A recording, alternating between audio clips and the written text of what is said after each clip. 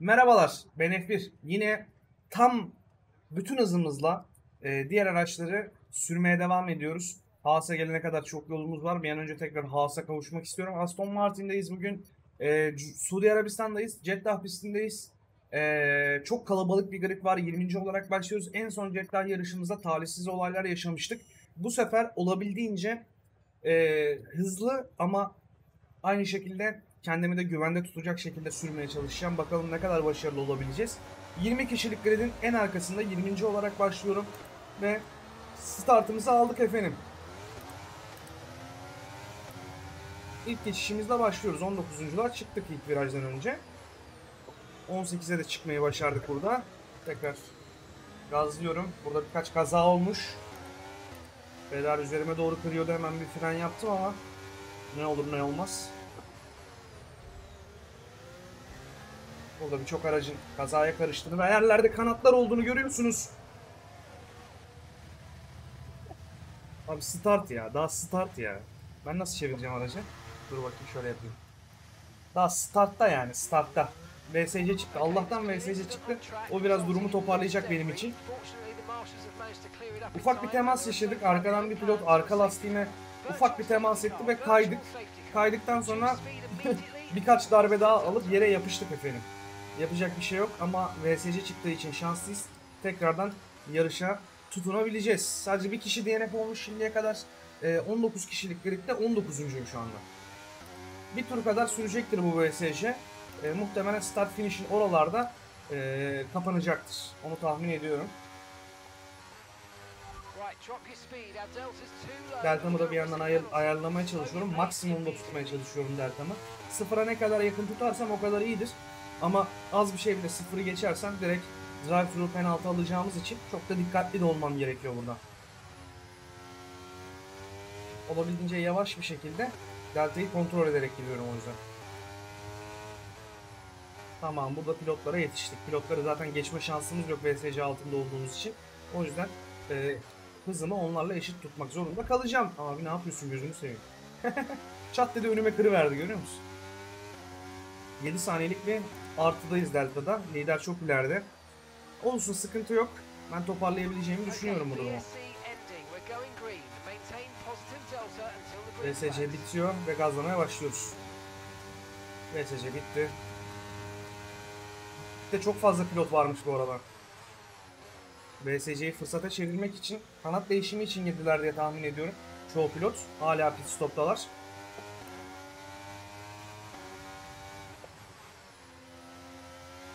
Right, we need here. Use overtake. Use overtake.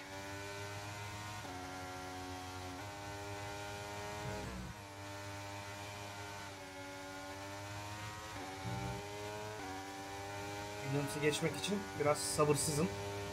O benden daha yavaş. Bir önce geçişimi yapmam gerekiyor o yüzden. Harika bir geçiş. İçeriden çok güzel bir atak yaptık ve geçişi tamamladık. Süper bir haber. Şu anda 12.yiz. Oo burada çok talihsiz bir kaza yaşanmış ve ardından safety car gözüktü. Safety car gözükmese güzel gidiyorduk. Güzel bir tempomuz vardı. Yine lideri yakalamak çok zordu. Ee, VSC bizi çok geriye düşürmüştü ama toparlayacağız bu durumları. medium lastiklere geçiyoruz şimdi. Lider geçemeyecek. Lider bir tur sonra geçecek. Bu bizim avantajımız olacak bir şey bu arada. Yani lideri geçme şansımız var. Aa gerçi lider de girmiş bir de yok. Lider girmiş. Ben lider giremedi sanmıştım ama girmiş.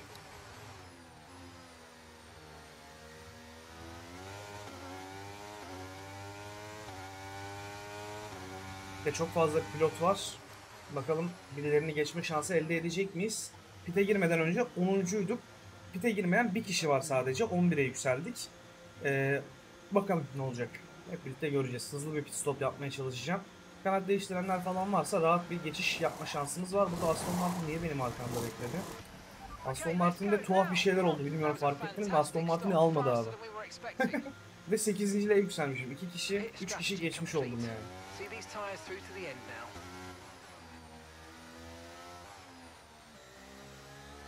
Nasıl böyle bir şey oldu hiçbir fikrim yok. Bir şeyler yine muhtemelen bug'a girdi.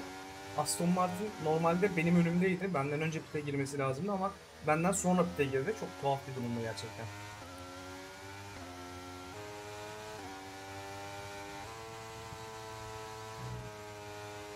Pistin dışındayken rakibiniz geçiş yapabiliyorsunuz aman diyeyim. Allah'tan Ghost'a dönüştü. Çok ödüm koptu biliyor musun? Gerçekten ödüm koptu. Beni geçerse illegal alacak. Şu saatten sonra ben öndeyim. O arkamda. Çünkü pistin dışından dönüyordu. Fırsata çevirdik onu geçtik. Hala pitte gözüküyor bu arada rakibim. Çok tuhaf bir şekilde yani. Aston Martin. Ay Aston Martin diyorum. Alfa Romeo. Şey, Alfa Romeo diyorum. Alfa Tauri. Benim kafalar hiç iyi değil arkadaşlar. Kafaya beni biraz takmış gibi duruyor Alfa Tauri. Umarım vurmaz. Yani vuracakmış gibi bir şeyle sürüyor. Çok gergin ya benim için. Burada kaza olma ihtimali var bu arada. Arkadan gelen pilotların görmeyip safety car sırasının tamamına vurma şansları var. Alfa Tauri ısrarla böyle beni geçiyormuş gibi yapıyor. Atak yapıyor, geri çekiliyor, bir şeyler yapıyor. Bir tık e, ürküttü beni. Yarış başladıktan sonra gergin hamleler yapabilir yani. field a bit. We're dropping too far back. Remember, we need to stay within 10 car lengths of the next car.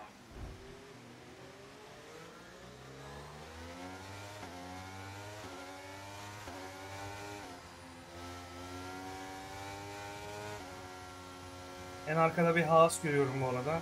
Pistin yarısı kadar gerimizde şu anda. En az bir 30 saniye var gibi duruyor. Umarım o da sıraya yetişmeyi başarabilir.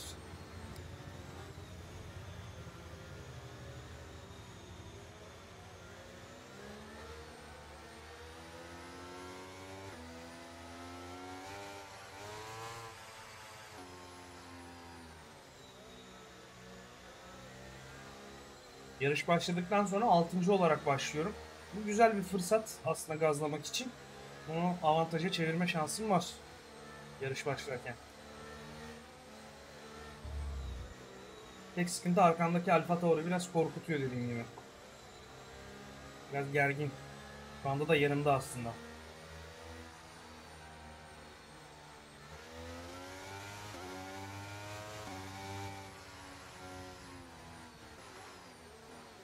Lastik ısıtmaya başladı arkamdaki pilot. Daha çok erken lastik ısıtmak için.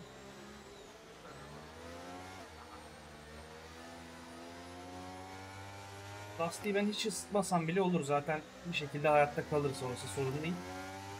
Lastik ısıtmaya çalışırken çünkü çok fazla aşındırıyoruz. Zaten yarışın sonunu zor göreceğiz bu lastiklerle. O yüzden bence lastiklerin aşınmamasını sağlamak daha mantıklı şu anda. Soğukluğundan ziyade.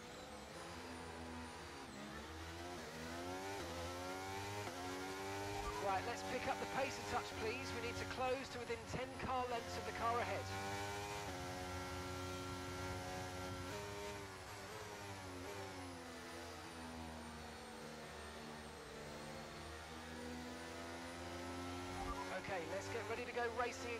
Evet, yarış başlıyor. Safety car gidiyor. Lider yarışı başlatacak. Lider bir Ferrari. Yanlış görmüyorsam. Yarışın başından beri lider bu arada. Hani kendisi hiç liderliği bırakmadı. Hızlı bir pilot muhtemelen. Bakalım liderliği alabilecek miyiz ondan?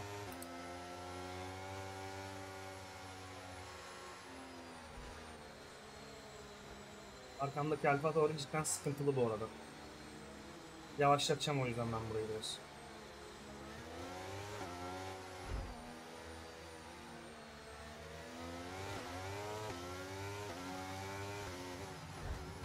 Ne yapıyorsun bro ya? Abi çok komikler gerçekten çok komikler ya. Benim Jettah'ta niye hep başıma bunlar geliyor?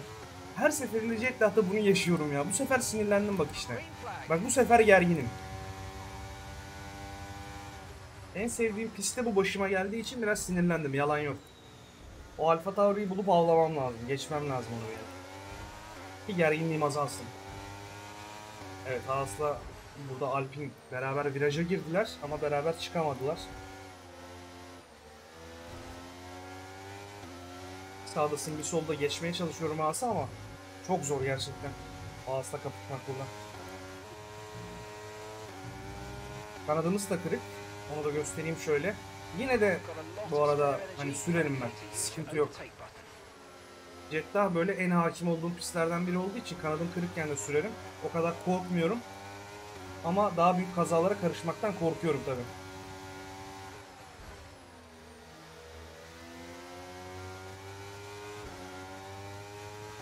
Kaçmaya çalışıyorum. Olabildiğince ERS harcıyorum buralarda. Beni öldüren Alfa Tauri'ye de geldik bu arada. Canımı okudu adam ya.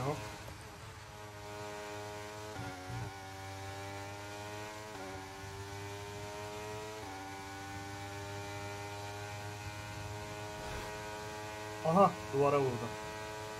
Düz yolda nasıl bunu başardım be Brom be?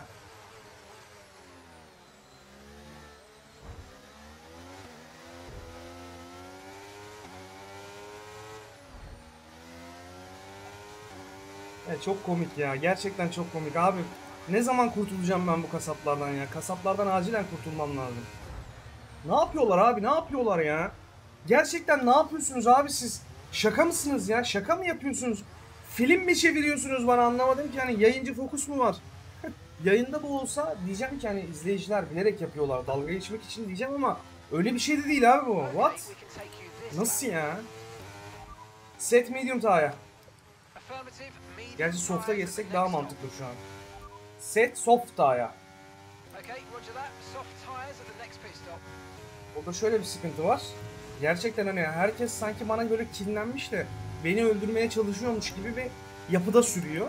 Çok tuhaf. Gerçekten çok tuhaf yani. Normalde benim böyle kazaları çeken böyle paratoner gibi bir tipim yoktur yani. Genelde kazalar gerçekleşir. Ben de kaçarım oralardan ama bu sefer kazalar gerçekleşmiyor. Kazalar benim üzerimden gerçekleşiyor yani. Ne demek istediğimi anlıyorsunuzdur umarım. Tuhaf. Gerçekten hani benim yaptığım bir yanlışlık var mı diye gün sonunda baktığınız zaman hani belki o adamı o kadar yavaşlatmaya çalışmasaydık safety car'ın sonunda ama o da kendisi kaşındı. Beni geçmeye çalışıp duruyordu. Önüme atıp duruyordu kendi arabasını. O yüzden yavaşladım. Hani ondan bir an önce kurtulayım diye. Ama böyle de olmaz ki abi gerçekten yani. tatsız. Tatsız. Neyse softları alacağız. Hızlı turlar atıp e, geçebildiğimiz kadar rakip geçmeye çalışacağız. İşimiz çok zor. Gerçekten çok zor. Ama elimizden geleni yapacağız tabii ki yani.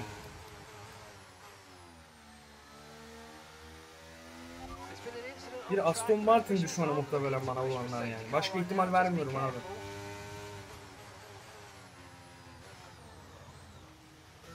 Çok tuhaf yani. Gerçekten çok tuhaf. Aklım almıyor. Aklımın almadığı patladığımız noktalardayız efendim. Hadi bakalım. Hızlı bir stop yaparsak belki. Belki oradan bir avantaj. 7.4 sürdü gene Her şeye rağmen. Alpin'in de arkasında kaldık. Kötü oldu bu.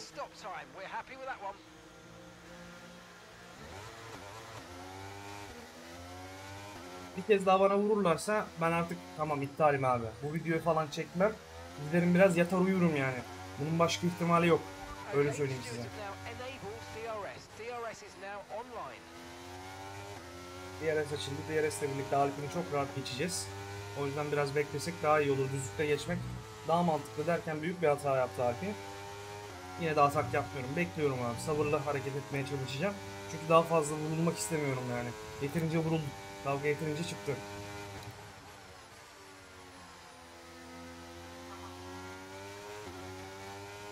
...1.31 en hızlı turmuş. Biz çok daha hızlı bir tur atarız muhtemelen diye tahmin ediyorum. Diğer tur.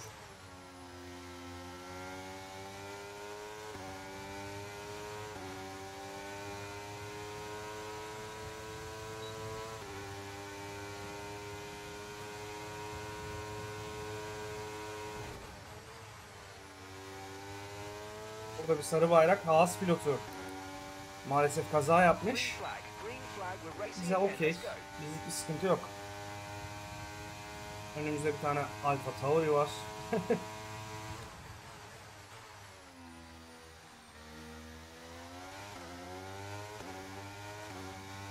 At GRS kullanacağım. Bu tur boyunca GRS kullanıp en hızlı turu atmaya çalışacağım.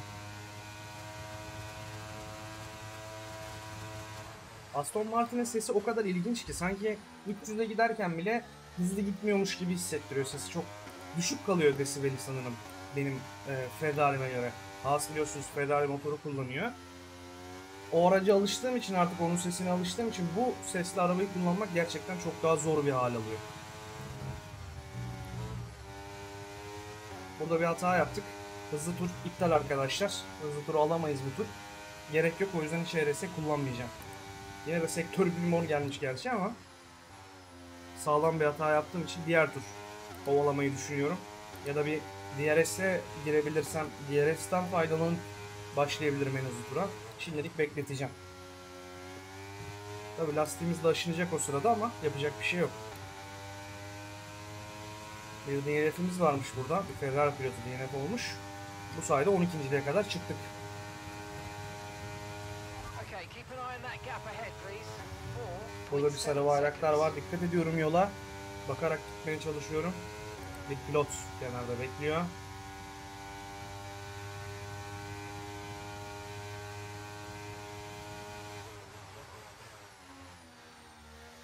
En hızlı tura başlayacak. gap behind us is 6.7 seconds.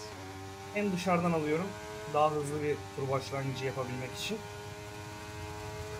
Yine de en hızlı tur almışız bu arada. En hızlı tur denememiş olmamıza rağmen.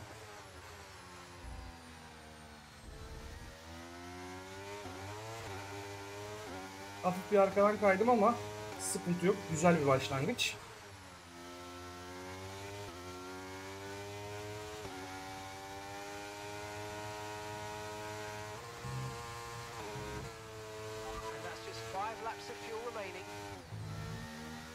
Burada hep bir arkadan kaydırıyorum ya. Yani çok hızlı olmaya çalıştığım zaman bu virajda ardından kaldırıyorum. 6. vitesi hiç atmamam lazım orada. 5. vites devam etmem lazım bir süre. 6. vitesi attığım anda arkası geliyor. Tork bir anda tekrardan arttığı için. Orası bir sıkıntı. O yüzden en hızlı tur yine iptal. Daha hızlı bir tur atarız ama eminim ona. Bekleyeceğiz sadece. Doğru zamanda yapacağız hamlemizi. Belki öndeki araçlara yetişip bir yere salabilirsek. Artık yarışta herhangi bir şeyimiz yok. Ee, hedefimiz yok. Çünkü artık rakiplerimiz çok ileride. Onlara yetişmemiz gerçekten zor. 17 saniyelik bir fark var Alpine'le aramda. Hani inanılmaz bir fark. Onun da temel sebebi aslında zaten bu kazalar biliyorsunuz. Maalesef gibi maalesef yani. Talihsiz ve tatsız. Öyle söyleyeyim. Çok üzüyor bu durumlar beni ya. Hani güzel yarışlar yapmak istiyorum ama. you're in the top 10. Güzel, keyifli, eğlenceli. Kaçıncı olduğumun bir önemi olmadı ama temiz geçen yarışlar benim daha çok hoşuma gidiyor. Bu tarz yarışlardansa. Hani çok kaza olsun, birinci olayım o da hoşuma gitmiyor abi. Monaco'da hatırlayın sadece iki kişi kalmıştı yarış sonunda ki bir tanesi de bottu zaten. Sadece ben kalmıştım yarış sonunda ama o kadar keyif almamıştım yani. Benim için önemli olan biraz rekabet etmek. Rakiplerle yan yana viraj dönebilmek. Bunlar önemli yani. Böyle ben öldürüldükten sonra bir anlamı yok ya da rakibim öldükten sonra bir anlamı yok yine yani. Maalesef. the car ahead by. 7.0 seconds. Biraz ERS biriktiriyorum şu an. Bekleteceğim. Yine bir hızlı tur denemesi yapacağım ama tabi lastiklerimiz de aşınmış olacak o sırada. Yani bilmiyorum alabilir miyiz alamaz mıyız tekrar.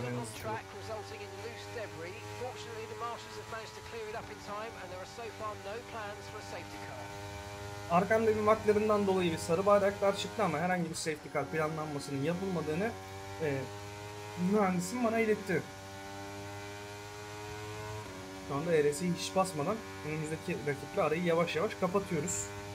ERS'yi de basacağız bu tur. Gerçi yine 50'lerde ERS'imiz ama yapacak bir şey yok artık kullanmamız lazım. ERS'yi sonsuza kadar bekletemeyiz yani. Son turlara girdik zaten artık.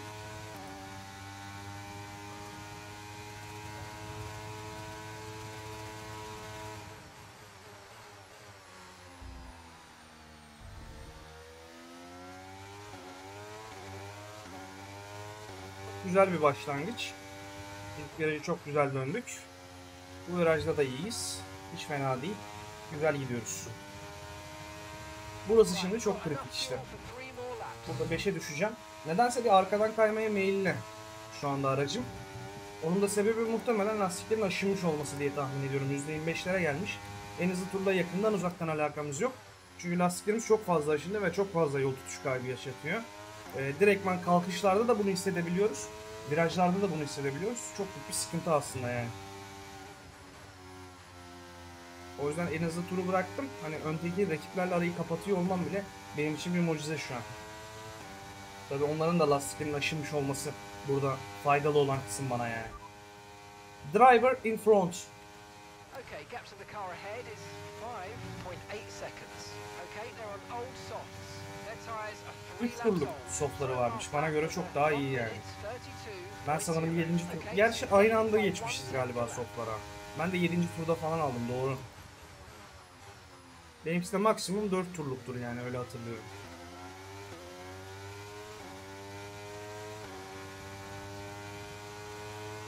Tarafa biraz yetişebilsem, biraz rekabet görsek çok tatlı olacak ama 12. tura girdik ve hala ön taraflı arayı yeterince kapatamadım. Yani öndeki rakiplerimi göremiyorum bile. Çok üzücü bir durum bu benim için. En sevmediğim e, yarış tarzı da bu. Aslında bu tarz yarışların çoğunu ben normalde çöpe atıyorum, siliyorum. E, yarısındayken zaten alt F4'e koyup siliyorum. Güzel bir video olmayacak, sizlere güzel ulaşmayacak diye ama arada bir bu tarz istisnalar yapmakta fayda var. Hani neden diye soracaksanız her zaman bizim işimizde yaver gitmiyor. Her zaman ikinci, üçüncü olamıyoruz. Bazen bu tarz kazalara karışabiliyoruz. Bazen bireysel hatalar yapabiliyoruz. Bunları da görmenizi e, istiyorum açıkçası. E, ne kadar iyi yarışlarımızı görüyorsanız bir bu kadar da kötü yarışlarımızı görmeniz lazım ki siz de bilin hani dünya toz pembe değil. her an her şey olabiliyor ve mükemmel yarış diye bir şey yoktur arkadaşlar hiçbir zaman yani. Ne kadar iyi bir pilot olursanız olun durduk yere başka bir yerden başka bir şey gerçekleşebiliyor işte. Bunları da görmenizde fayda var kesinlikle. Our gap to the car in front is 5.4 seconds. Sarı bayraklar var. Start finish'in orada lider galiba. Ferrari kaza yapmış. Lider de Ferrari. Tekrar yola bağlandı ama 2-3 kişi geçti onu. Gördüğüm kadarıyla.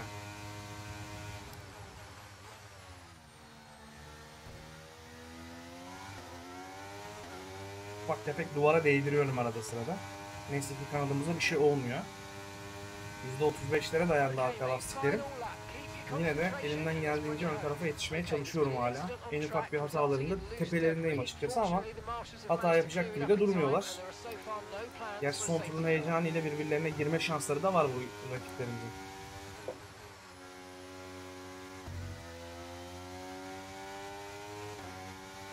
Williams'ı Haas geçti ve ben de acayip bir ara kapattım. Ama herhangi bir sarı bayrak yok. Neden oldu bu bilmiyorum. Acayip bir şekilde arayı kapatmaya devam ediyorum. Sarı bayrak yok önümde. Williams'la aram kapanıyor. Williams galiba oyundan çıkmış. Bir bot diye tahmin ediyorum. Bir DNF geldi burada. Yine Mercedes pilotu. 8.liğe kadar yükseldik. Çok anlamsız bir yarış oldu benim için. Bana buraya kadar katlandığınız için teşekkür ediyorum arkadaşlar. Yani bu yarış çünkü katlanılacak bir yarış izlemek hususunda da yani. Çok fazla aksiyon yoktu, bir şey yoktu, rekabet yoktu, eğlenceli değildi bence. Hani en azından ben videoyu çekerken eğlenmedim, onu bilin yani. Siz eğlendiniz mi bilmiyorum izlerken ama ben acı çekerek sürdüm aracı arkadaşlar. Burada botları bile geçemeyeceğiz muhtemelen ya. Evet, geçemeyeceğiz.